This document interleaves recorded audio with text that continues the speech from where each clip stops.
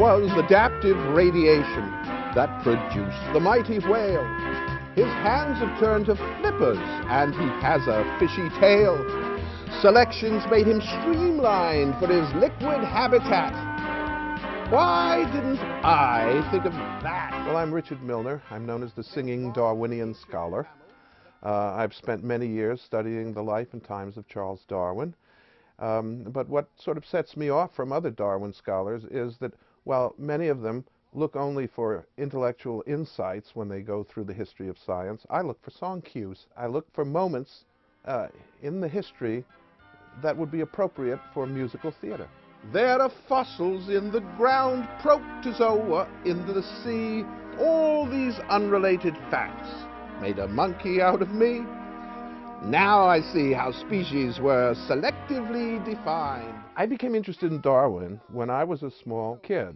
Um, I was I loved animals. Used to go to the Bronx Zoo, the American Museum of Natural History. If you're interested in natural history and animals, uh, you start to wonder where they all came from and where we came from. Pretty soon, you're at Darwin's doorstep. But I found him a very engaging character over the years.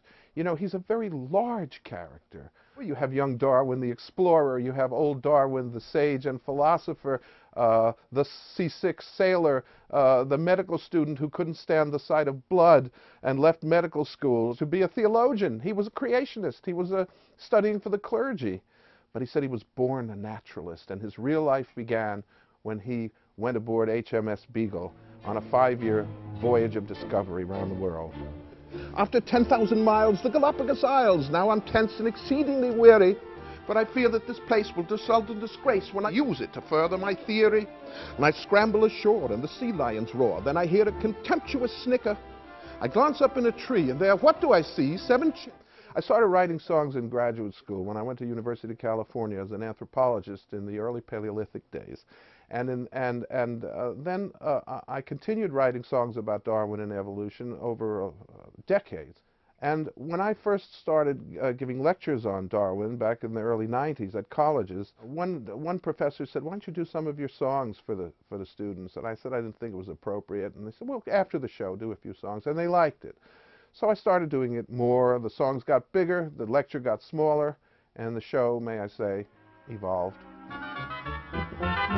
There was an ancient monkey with a long and curly tail. This ape evolved into a man.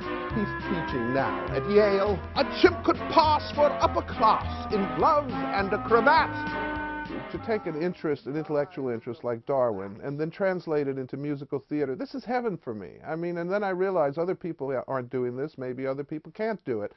So that's why I should do it, because I don't want to do something that everybody else can do. And I've been very fortunate. I've been played my show all over the world, including in the Galapagos Islands on a cruise ship recently. And you know, they had a little sideshow. Uh, when I was finished with my show, everybody rushed out on deck and they had lights on, and the insects were attracted to the lights, and the flying fish were attracted to the insects, and the seals were coming after the flying fish. So that was the second act.